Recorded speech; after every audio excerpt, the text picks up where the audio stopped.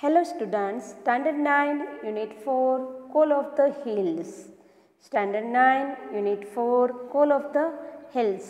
ટેકરીઓનું આકર્ષણ આ એક ખૂબ જ મહત્વ એક મસ્ત સ્ટોરી છે કે ગુલામીમાં જીવવું સારું બધું સુખ મળવા છતાંય ગુલામીમાં જીવવું સારું કે કંઈ પણ ના હોવા છતાંય સ્વતંત્ર રહેવું સારું આ સ્ટોરીમાં આ ખૂબ મહત્ત્વનું એક વાત છે અહીંયા, એ જોતાં પહેલાં અહીંયા પ્રી ટાસ્કમાં એક પોએમ આપેલી છે. પ્રી ટાસ્ક એટલે ભણતા પહેલાં અભ્યાસ કરવો. તો પોએમને recite the poem recite the poem and try to understand it તમને પોએમનું કદાચ ટ્રાન્સલેશન કરીને ના આપવામાં આવે, છતાંય તમે એને સમજવાની કોશિશ કરજો. તમને સમજાઈ જશે કે શું કહેવા માંગે છે. તો અહીંયા આપણે પહેલાં તો આખી પોએમ છે, એને આપણે રિસાઇટ કરશું. કે I had a dove I had a dove and the sweet I had a dove and the sweet dove died મારી પાસે કબૂતર હતું ફરીથી I had a dove and the sweet dove died and I have thought it died of grieving I have thought it died of grieving grieving means sorrow oh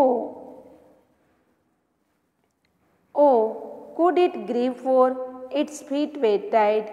Oh, what could it grieve for its feet were tied with a silken thread of my own hands weaving, with a silken thread of my own hands weaving. Sweet little red feet, sweet little red feet, why should you die? Sweet little red feet, why should you die? Why should you leave me, sweet bird?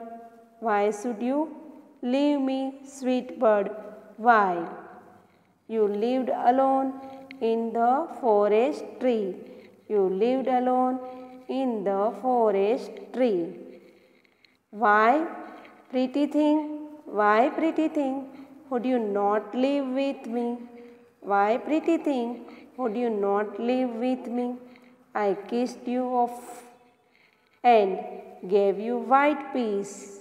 Peas means peanuts. Why not live sweetly as in the green trees? Why not live sweetly as the green trees? હવે આ poem લખી છે John cats John કેટ્સે અહીંયા આપેલું જ છે બરાબર હવે આપણે આખું એક્સપ્લેન કરીને સમજીએ તો શું છે આઈ એન્ડ ડવ મારી પાસે એક કબૂતર હતું હોલા, ડવ અને પીઝિયનમાં ડિફરન્સ ખાલી હોલો અને કબૂતરમાં હોય, એ પણ ગ્રે કલરનું કબૂતર જેવું જ પક્ષી છે. And the sweet dove died અને એક સુંદર કબૂતર મરી ગયું. એન્ડ આઈ હેવ થોટ હું વિચારું છું કે ઇટ ડાઇડ ઓફ ગ્રીવિંગ એ ખૂબ દુઃખથી મરી ગયું. ઓ what could it grieve for એને શાનું દુઃખ હશે? શા માટે શું દુઃખ હશે? Its fair were tied its feet were tied એટલે તેના પગ બાંધેલા હતા. શેનાથી? With a silken thread of my own hands weaving મારા હાથે વણેલો સિલ્કના દોરા વડે તેના પગ બાંધેલા હતા. તેના, તેનોથી એનું દુઃખ હશે? સ્વીટ લિટલ રેડ ફીટ એના ખૂબ સુંદર લાલ પગ. વાય શુડ યુ ડાય શા માટે તું મરી ગયું? Why should you leave me શા માટે તું મને છોડીને જતો રહ્યો? સ્વીટ બર્ડ ખૂબ મધુર પક્ષી. વાય શા માટે?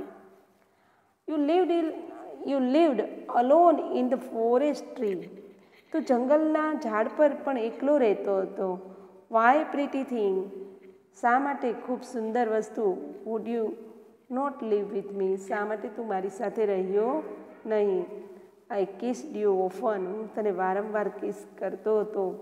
And gave you white peas હું તને સફેદ વટાણા પણ આપતો હતો.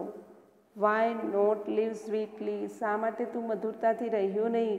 As in the green trees જેવી રીતે તું લીલા ઝાડવા પર રહે છે, તે રીતે. હવે now mark true or false તો the dove was living dove was living comfortably comfortable life તો એ રોંગ છે, એટલા માટે ફોલ્સ એ કમ્ફર્ટેબલ ન હતો. તો આપણે અહીંયા ફોલ્સ લખીશું. ફોલ્સ સેકન્ડ છે the dove was happy because it was tied with silken thread silken થ્રેડથી તેના પગ બાંધેલા હતા, તે માટે તે ખુશ હતો. તો એ પણ આવશે false the poet took good care of dove હા, એ કેર કરતો હતો. તો એના માટે આવશે ટ્રુ ત્યાર પછી ફોર છે. The poet does not understand the reason of the dove sadness આ પોઈટ છે, એ એની ઉદાસીનું કારણ સમજી શક્યા ન હતા. એ પણ ટ્રુ છે. The dove was stupid not to live with the poet તો એ ફોલ્સ છે, એ સ્ટુપિડ ન હતું, પણ એને બંધનમાં રહેવું ન હતું. The dove was unhappy because it was not free હા, એ રાઈટ છે, તે અનહેપી હતો, ઉદાસ હતો, કારણ કે તે મુક્ત ન હતો. હવે આગળના વિડીયોમાં બી જોઈશું. અસ્તુ